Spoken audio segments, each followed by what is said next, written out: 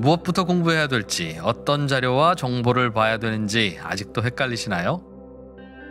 포스트 코로나 시대에 방황하는 20대부터 본업에서도 투자에서도 성과를 내고 싶은 30대, 노후를 준비하는 40대, 50대까지 주식 투자의 세계에 입문하신 분들을 위해서 3프로TV가 준비했습니다.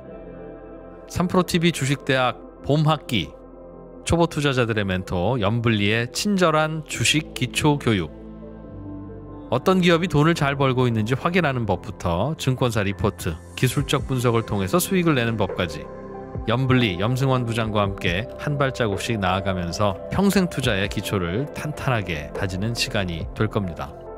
3프로TV가 염블리의 친절한 주식 기초 교육과 함께 여러분의 성공 투자를 응원하겠습니다.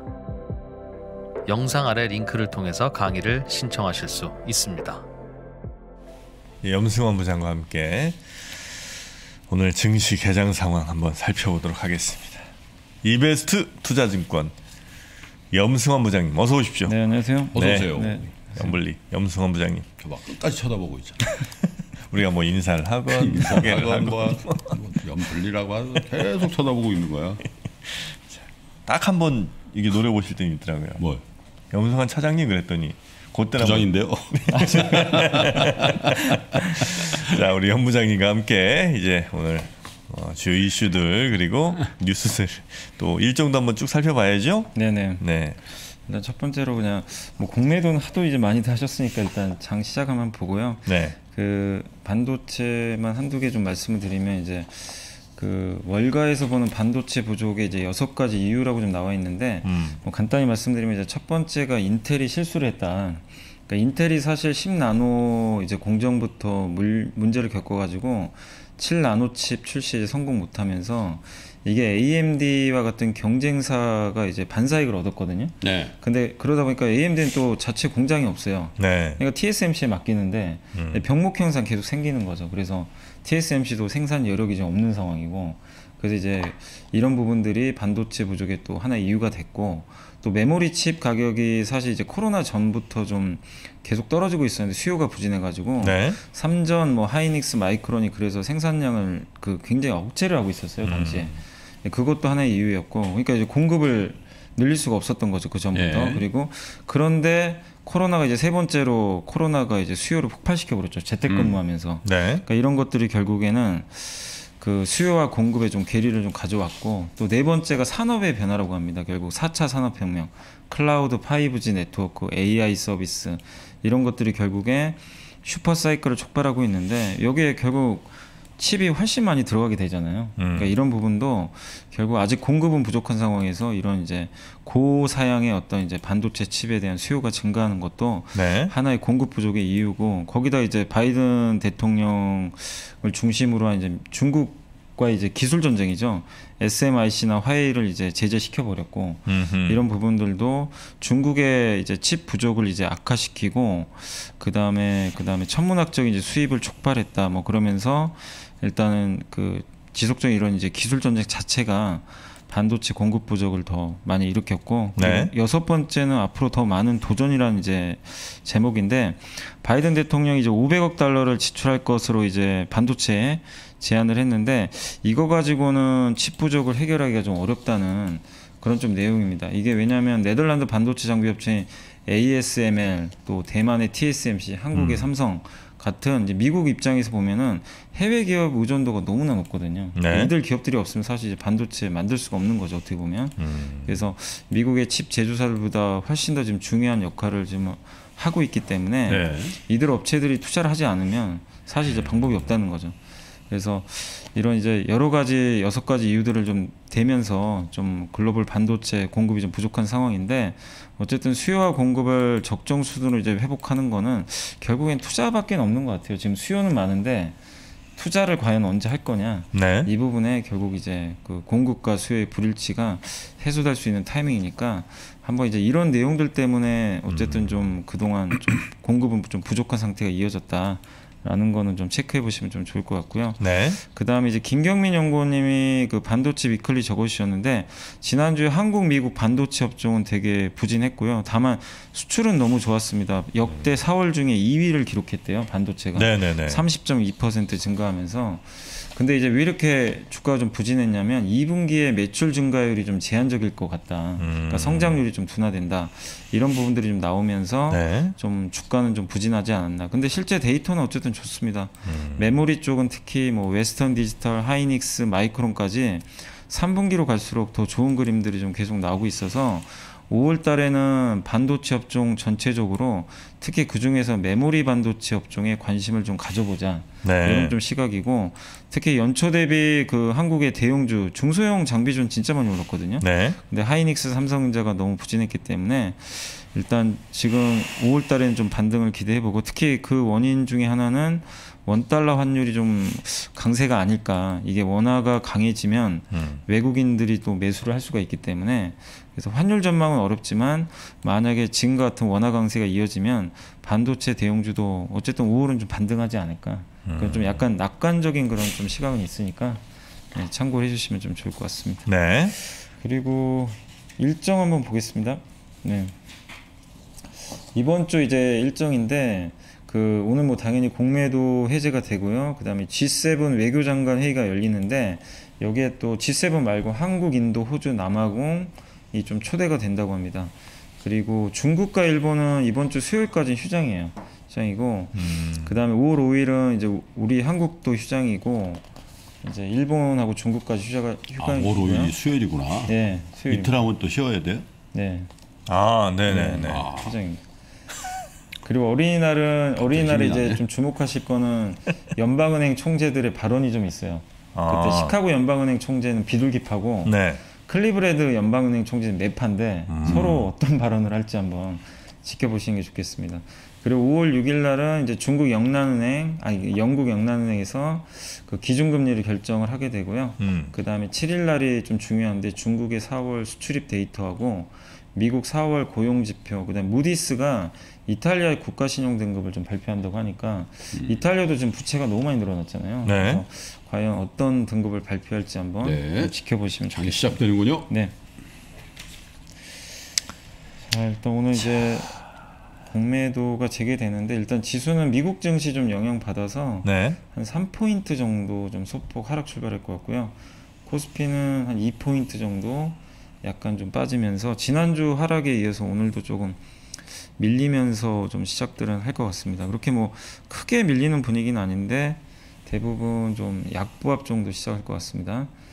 현재 이제 호가 나오는데요. 삼성전자가 8만 1,100원 정도 0.37% 정도 빠졌고 LG화학은 오늘 조금 올랐습니다. 0.2% 정도 반등 출발했고요. 삼성물산이 이제 상속세 그 거의 확정이 됐잖아요. 네. 그래서 지주사 전환 가능성은 높지 않다라고 하더라고요. 일단은 어쨌든 삼성물산이나 전자 같은 경우 뭐 배당을 좀 늘릴 가능성이 높다라는 좀 분석들이 있어서 좀 지켜봐야 될 것 같습니다.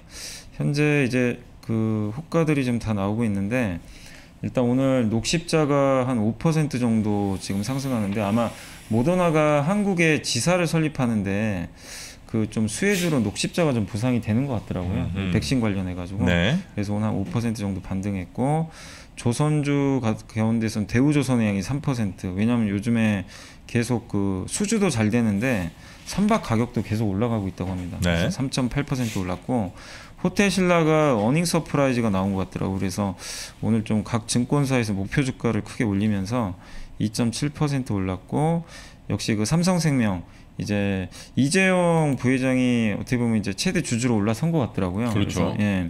그래서 향후 삼성전자 지분 가치에 대한 이제 기대감 때문에 오늘 한 2% 정도 반등을 했습니다. 그 외에 조- 한국조선해양, 뭐 포스코, 삼성중공업 지난주에 강했던 그 경기 민감주가 오늘도 셉니다. 음. 오늘도 좀 계속 좋은 분위기고 조금 빠지는 섹터는 이제 SKC가 이익이 좀 물론 이제 실적은 좋았는데 네. 2차전지 동박 부분 이익률이 좀 아직은 생각보다 안 좋나 보더라고요. 그래서 음. 1.8% 빠졌고 포스코 케미칼이 1.3% 정도 빠졌고 카카오도 한 2%. 이게 대표적으로 약간 이제 고밸류를 받고 있는 기업들이 오늘 주가가 조금 부진하게 시작을 한 것 같습니다. 그래서 2차 전지 섹터가 조금 밀리면서 스타트를 끊었고 그 다음에 오늘 실적이 좀 잘 나왔었죠. 지난 금요일날 만도가 한 2%, 요즘에 백화점하고 면세점 다 가지고 있는 신세계가 한 2% 정도 일단 반등 출발을 해줬습니다. 음. 그리고 코스닥으로 한번 넘어가 보겠습니다. 네. 코스닥도 지금 이제 견조하게 출발을 했는데요. 셀트리온 헬스케어가 강보합 보이고 있고 아까 이제 모더나와 연계된 기업들이 좀 강한 것 같아요. 아까 녹십자도 그렇지만 ST팜도 한 4% 정도 상승을 해줬고요. 그 외에 일부 이제 RFHIC가 지난주에 유상자 있잖아요. 근데 전력 반도체 관련한 투자가 좀 기대된다는 이제 증권사 어. 긍정적인 보고서가 오히려 있어가지고 네네. 오늘 한 2% 정도 다시 되돌리는 반등이 나왔습니다. 반면에 오늘 좀 빠지는 거는 러시아 백신 관련주 휴원스가 한 3% 빠졌고 그 다음 풍력 테마주죠. 예, 삼강 MNT가 한 2% 그리고 이제 반도체 관련 기업들 동진 세미캠, 뭐 TCK 또 2차 전지 관련주 에코프로베 1.3% 빠졌는데 코스닥은 이제 전체적으로 보면 대부분 IT 기업들이 좀 오늘은 약간 오전장에 네. 하락 조정을 좀 받고 있는 게 특징적인 것 같습니다. 그래서 약간 이제 고밸류 기업 좀 빠지고 반면에 지난주 강했던 경기 민감주 올라가고 이런 좀 구동 그러네요. 같아요. 예. 근데 지수는 일단 나쁘진 않아요. 코스피가 플러스 예. 플러스입니다. 3포인트 정도 아마 우리 수출. 실적 나온 게 조금 더 낙관적인 예, 그죠? 수출이 뭐41% 거의, 예, 아까 게. 김효진 연구원도 얘기해 주셨지만 뭐 거의 역대급 실적 예, 수출이 나온 음. 것 같더라고요. 좀 더 지속될 것 같죠? 예, 예. 5월까지는 좀 이어질 가능성이 있는 것 같아요. 그리고 일단 지수는 좀 괜찮은 상황이고요. 투자자별 동향은 일단 오늘 외국인이 좀 공격적으로 매도를 하고 있습니다. 544억 정도 매도를 했고 음. 기- 개인은 일단 소폭 매수하고 있고 오늘 과연 이제 청약 증거금 이제 다 환불될 텐데 아 오늘 돌려받는군요. 네, 예탁금이 15조나 빠졌더라고요. 그 청약 증거금 때문에 음. 지난주 금요일 날 빠졌다기보다 이전했다. 네, 이전했다고 예, 봐야 되겠다. 다시 예. 들어오겠죠. 예, 그래서 아마 다시 복귀될 가능성이 있는 것 같습니다. 음. 반면에 지난주에 정말 엄청난 매도를 했던 기관 투자들은 오늘 오전장에 굉장히 공격적으로 사고 있습니다. 음. 코스피 한 450억 정도 들어왔고 예. 코스닥도 좀 일부 사고 있는데 연기금하고 금융 투자가 조금 매수는 해주고 있고요. 섹터 이제 말씀드리면 코로나19 관련주 중에서 모더나 관련주가 한 4%, 조선 해운주가 지금 계속 급등하고 있고요. 또 비트코인이 주말에 반등했습니다. 그래서 비트코인 관련주 올라갔고 그다음 지난주 제일 안 좋았던 섹터가 자동차인데 일단 오늘은 좋습니다. 오늘 만도 중심으로 해가지고 자동차 대표주가 한 1.45% 반등을 해줬고요. 그 외에 면세점도 실적 기대감이 좀 붙으면서 오늘 좀 강세를 주도하고 있는 것 같습니다. 반대로 하락하는 섹터는 오늘 철강주는 좀 많이 빠, 약간 빠지네요, 빠지- 철강. 예, 지난주에 이제 조선하고 거의 투톱이었는데 철강이 급등하는 예. 게좀 힘이 빠져버렸네. 예, 철강은 이제 아무래도 호재가 좀 많이 노출되다 보니까 음. 좀 차익 매물 나온 것 같고요. 그 외에 2차 전지 섹터도 오늘 대부분 빠지고 있습니다. SK 이노베이션이 한 3.5%, LG화학이 한 1.3% 정도 좀 하락을 하고 있고요. 그리고 철강 중, 중소형 또 리모델링, MLCC 이런 IT 기업들도 대부분 오늘은 좀 빠지는 것 같습니다. 그래서 자동차하고 조선업종, 일부 그러네요. 모더나 관련주 이런 확실히 것만 중소형주 종목 중에 많이 오른 거를 따라가는 데는 좀 부담을 주네. 네, 맞습니다. 공매도 예. 그게. 네? 그 만약에 공매도를 외국인이 100억을 해요. 100억을 공매도 친다. 음. 그럼 이제 빌려서 하는 걸 거 아니에요. 그렇죠. 네, 그죠. 그러면 이거는 매도로 계산됩니까? 아니면 계산이 안 매도로 잡히죠. 매도. 매도로 잡혀요? 네. 공매도도. 공매도 매도 지금 매수입니까?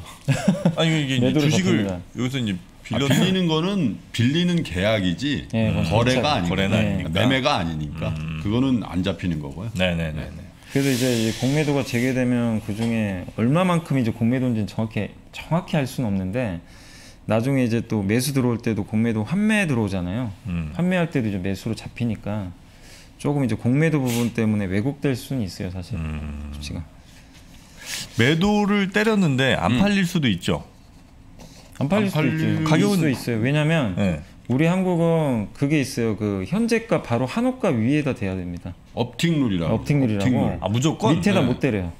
불가. 밀어서 못 판다니까. 예. 아 그러면 할 예를 들어 없어요. 현재가 지금 만 원하고 9만 9 아니 9,950원에 이렇게 막 있으면 음, 만 원에 딱 그러니까 현재가가 예를 들어 만 원이면 음. 만 50원에 그러니까 매도 호가 거기다만 걸 수가 있어요. 그러니까 매도 호가가 딱 있잖아요. 네. 만 원이 매도 호가예요. 지금 가장 새로운 매도. 호가를 못 만든다는 네, 얘기지. 맞아요. 아 그럼 지금 딱 현재가에만 그러니까 현재가가 만약에 만 원인데 네. 거기에 매수 호가가 있어요. 예를 들면 네. 매수 호가가 만 원인데 만 원에 막 체결이 돼요. 네. 근데 보통은 그럼 내가 팔고 싶으면 만 원에 그냥 오 매수 호가 있으니까 던져버리잖아요. 음.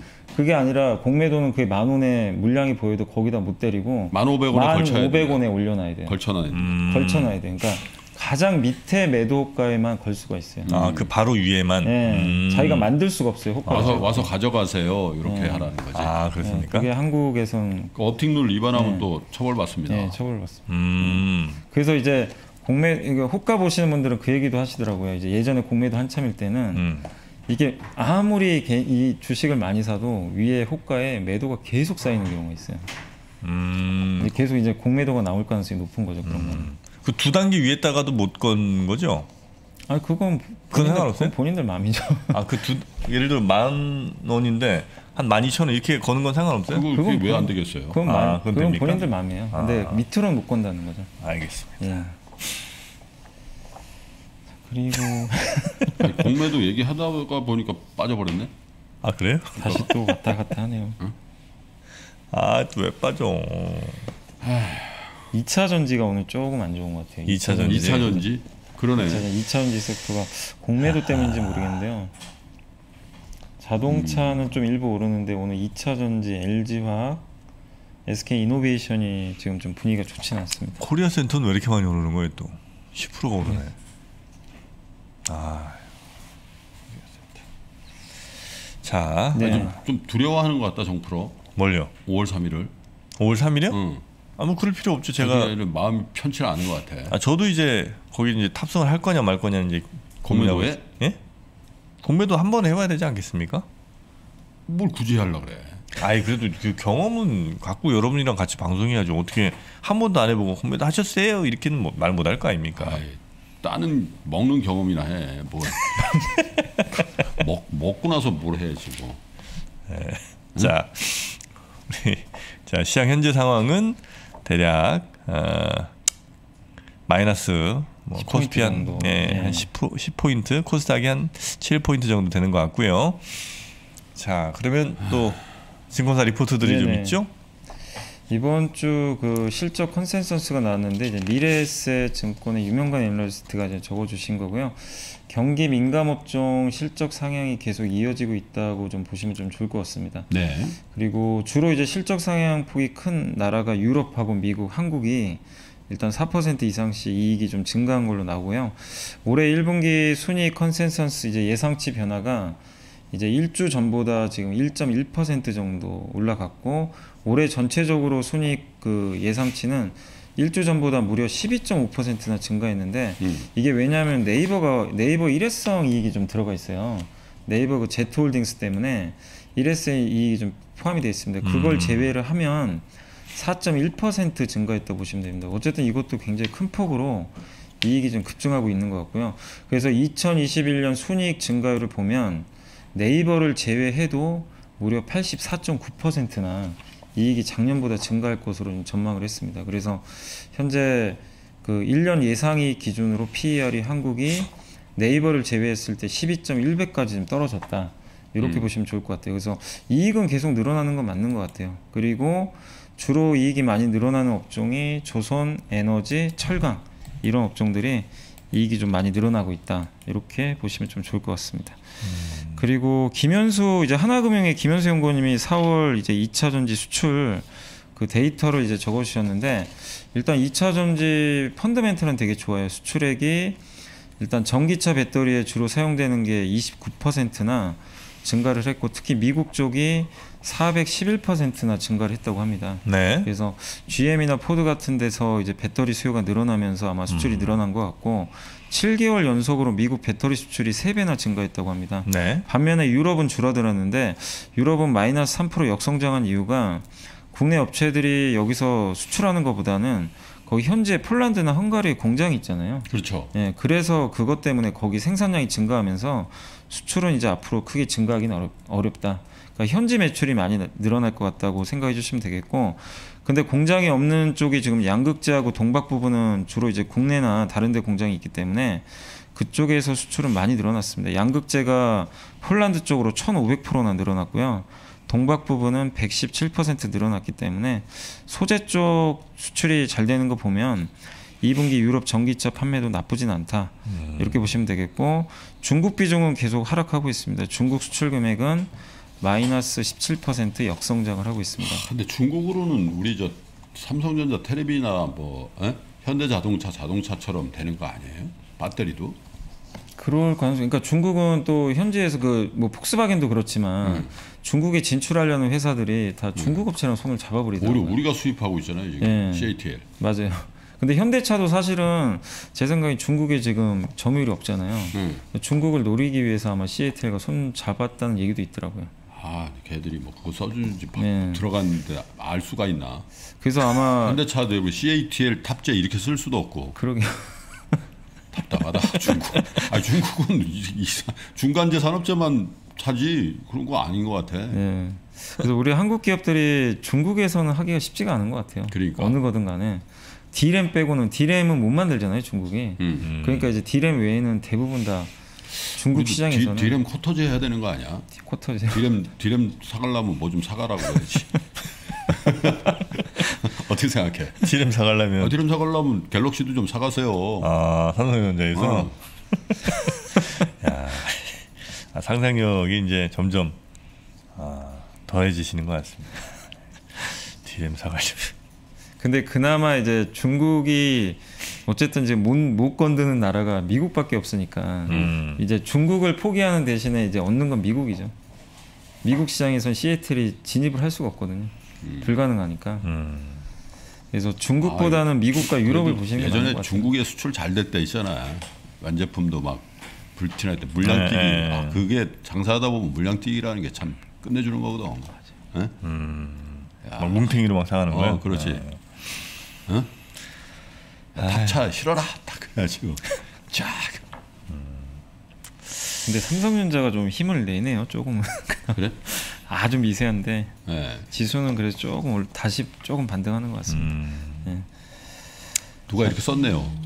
LUP 제로님이 기관 오늘 그래도 양심 있네요. 아, 기관이 좀 사용을 오늘 한 600억 정도 삽니다. 외국인만 아, 팔아요. 음.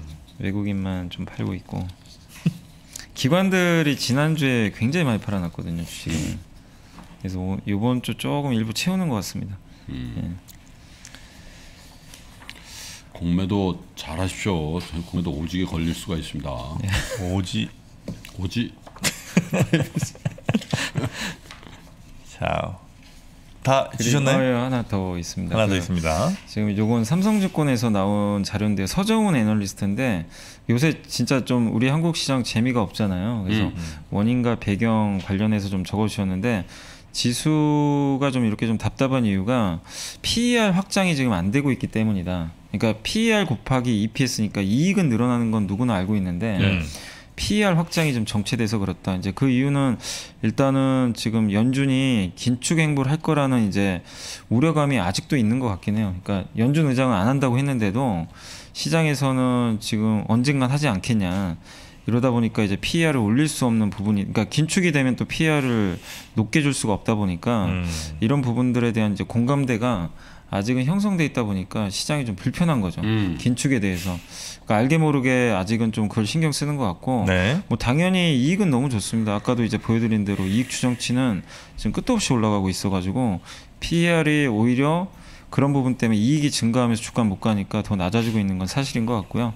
그리고 지금 한국 같은 경우는 지금 1분기 실적이 굉장히 견조한 편인데 글로벌 전반이 이제 경제 활동 재개가 완벽하지 않고 이연 수요도 아직은 대기 상태이고 그러다 보니까 이제 재고 축적 수요가 지금 계속 늘어나고 있다는 거죠. 그러니까 경제 활동 재개가 아직 완벽하지 않고 이제 수요 같은 경우는 어떻게 재택근무라든가 이런 걸 하다 보니까 IT나 이런 중간재 수요가 계속 좀 늘어나고 있다 이렇게 좀 보시면 좀 좋을 것 같고요. 음. 그리고 미국의 1분기 GDP 성장률도 굉장히 좀 고성장을 하고 있는데 재고는 오히려 감소했대요. 네, 재고 같은 네, 네. 경우는 그러다 보니까 여전히 그 우리나라 중간재가 들어갈 여지가 많다는 거죠. 그러니까 한국 같은 나라한테는 미국의 이런 재고장 감소가 상당히 좀 우호적일 수밖에 없다 이렇게 음흠. 얘기를 해줬고 또 최근에 원자재 시장도 엄청 좋잖아요. 원자재가 뜨겁다는 건 네. 실수요가 그만큼 좋다는 얘기죠. 수요가 좋기 때문에 원자재 가격이 올라간다. 그렇게 본다라면은 실적에 대해서는 전혀 걱정할 필요가 없을 네. 것 같다. 이런 좀 내용인 것 같아요. 그래서 결국엔 지금 시장이 좀 재미없고 또 이렇게 긴축이라든가 또 기업들의 실적은 좋은데도 지금 각 기업들이 오히려 가이던스를 굉장히 보수적으로 제시를 하고 있거든요. 음. 그러니까 2분기에 대해서 뭐 삼성 삼성전자는 3분기부터 좋아진다고 했지만 현대차는 5월 달에 좀 공급 안 될 수도 있다. 이런 좀 얘기를 한 것처럼 기업들의 스탠스가 좀 너무 보수적이다 보니까 이 괴리가 생긴 것 같아요. 음. 실적이 이렇게 추정치는 올라가는데 막상 기업들은 안 좋게 보고 이 괴리에서 주가가 좀 갈팡질팡하는 거 아니냐. 그러니까 결국 이런 부분들은 좀 시간이 지나면 네. 해결되지 않을까 이렇게 좀 보고 있습니다. 그래서 너무 우주, 우려하실 필요까지는 없을 것 같은데 조금의 이제 이런 간극은 아직 남아 있으니까 음. 시간은 좀 필요하다는 거 좀 염두에 두시면 좀 좋을 것 같습니다. 네. 그리고 뉴스가 나온 것 중에 그 이란 국영 방송에서 이란이 지금 동결돼 있잖아요. 그 어떻게 보면 그 자금들이라든가 이런 게 서방 네네네. 쪽에 우리나라도 동결해 놓고 있죠. 예, 그래서 그게 한 70억 달러 정도 되나 봐요. 한 예. 7, 8조? 그거를 해제하기로 서방과 합의했다라고 이란 국영 방송에 언급을 했대요. 어. 그렇다면 이제 이란 제재가 풀릴 수도 있기 때문에 이거는 우리나라 조선이나 건설주한테는 호재가 될 수도 있을 것 음. 같아요. 만약에 진짜 이게 사실이면 음. 경제 재건 들어가거든요, 바로. 음. 그래서 이 부분은 국내 산업재 섹터한테는 좀 호재 같고 어. 그다음 요건 좀 슬픈 얘기지만 오비 맥주에 이어 하이트 진로도 맥주 가격을 좀 올린다고 합니다. 그러니까 주주분들은 좋으실 수 있는데 맥주 아, 좋아하시는 분들은 그러고 출근하게요? 해지를 걸으면 되잖아. 주- 그 주식을 주식을 사고 사고. 주식 사면서 먹, 먹으면 되는 거 그래야 아니야? 되겠네요. 아. 어쨌든 하이트도 결국엔 올린다고 합니다. 그리고 제일제당도 CJ 전력은 컵밥 가격 7에서 8% 올린다고 하더라고요. 컵밥을 예, 아. 올린대요. 컵밥 그거 많이들 또 드시잖아요. 네네네. 그래서 음식료 업체들의 이제 농산물 가격 때문에 이제 조금씩 올리는 게 현실화되고 있는 것 같습니다. 노량진이지. 아 드셔보셨어요? 노량진. 그럼 아 그러세요? 노량진역 거잖아. 네, 많죠 거기에. 네. 컵밥으로 미국에서 대, 대박 난 분도 있는데. 그래? 네. 컵밥이라고 팔더라고요. 아예. 아 이름이 cup rice 아니고. 아 컵밥. 네, 컵밥 그냥 음. 그렇게 해갖고 미국에서 지금 매장도 한한 30개 됐을 거예요. 한국 분이에요. 한국 분이 아, 자 그러면 왜 이렇게 한숨을 쉬셔? 응? 걱정 많이 되나 봐 자기. 아니 어? 아니 어떻게 뭐 없어요 왜? 뭐가 없다는 거야? 플러스가? 봐봐 관심 뭔가 보자 진짜. 아이 뭐야? 지금 이제 이제 관심 종목들 아니겠습니까? 이 친구 있죠, 이 친구. 얼마 전에 그 이게 어. 좋다고 이 어. 친구 하나 또 슬쩍 담았잖아요. 마이너스 4.55네? 아니 얼마 전에 그죠 한 위원님 오셔갖고 아, 아 이거 좋다고. 어. 그래서 슬쩍 담았다고. 근데 그 날부터 또 오늘도 지금 5% 빠지고 있어요 지금. 아 정말. 이게 공매도 영인 것 같아요. 약간 일부가 지금 음. 거의 바이도 바이오가 급나가거든요. 바이오? 바이오 쪽이 다 안 좋아요 지금. 바이오? 바이오 대표적으로 누가 봐도 뭐 고평가 섹터 맞잖아요. 아니 그러니까 이제 고, 고- 공매도 이런 이런 거지. 바이오가 빠지면 코스닥이 빠지죠. 네 빠지죠. 그죠? 바이오의 코스닥 비중이 워낙 많으니까. 네, 제일 그죠? 많죠. 제일 많아요. 그 바이오 중에서 지금 보면 가장 심리에 영향을 많이 주는 게 시젠하고 셀트리온이거든요. 셀트리온 뭐 대차적으로 많이 늘었대. 네, 셀트리온도 한 3%, 시젠이 4% 가까이 빠지거든요. 그러니까 이제 같이 휩쓸리면서 음. 빠지고 일부 공매도도 나오겠죠, 사실 어떻게 보면 음. 이게 안 좋다 보니까. 근데 이제 내가 보니까 오늘 이렇게 좀좀 올라갈 수 있는 종목이 내재 가치 끝내주니까 진짜 이거 공매도 잘못 쳤다가 아주 그냥 그럴 그럴 만한 음. 것들은 버티네. 삼성전자 같아요. 그런 기업이 딱 보니까. 저 전자는 오히려 올라가요 지금. 음, 시간이 그러네. 갈수록 지금 계속 올라가고 있는 코스피가 아 그러네 코스피가 플러스고 코스닥이 0.75 네, 마이너스라는 맞아요. 거는 바이오가 빠진다는 바이오 얘기네. 예.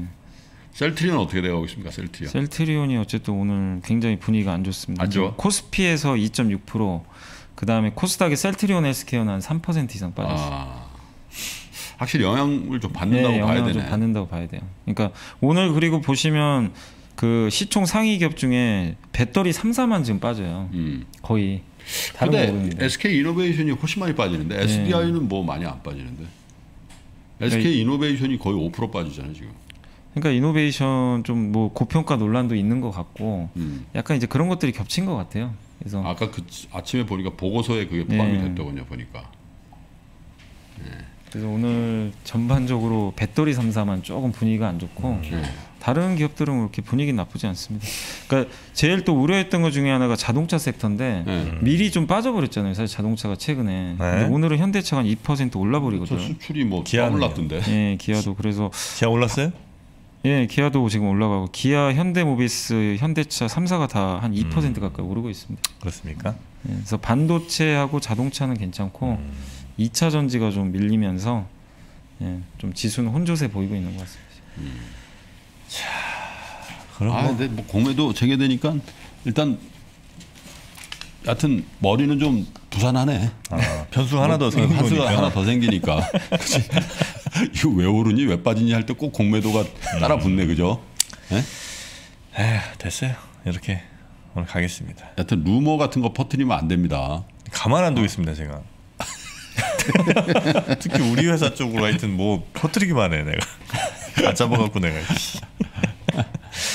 자, 그러면 우리 함께 해주신 염승환 부장님 고생 많으셨습니다. 네, 감사합니다. 네. 고맙습니다.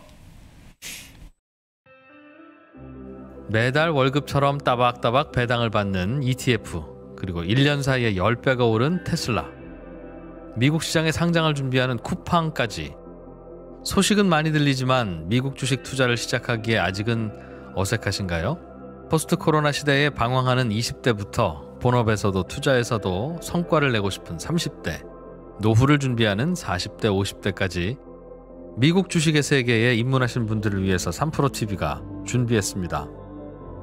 3프로TV 주식대학 봄학기 미국 주식에 미치다 장우석과 이항영의 미국 주식 완전 정복 미국 시장의 제도, 특징, 세금부터 기업의 가치 분석, 포트폴리오 유망 종목까지 장우석 본부장, 이항영 대표와 함께 한 발자국씩 나아가면서 평생 투자의 기초를 탄탄하게 다지는 시간이 될 겁니다. 3프로TV가 미주미 미국 주식 완전 정보 클래스와 함께 여러분의 성공 투자를 응원합니다. 영상 아래 링크를 통해서 강의를 신청하실 수 있습니다.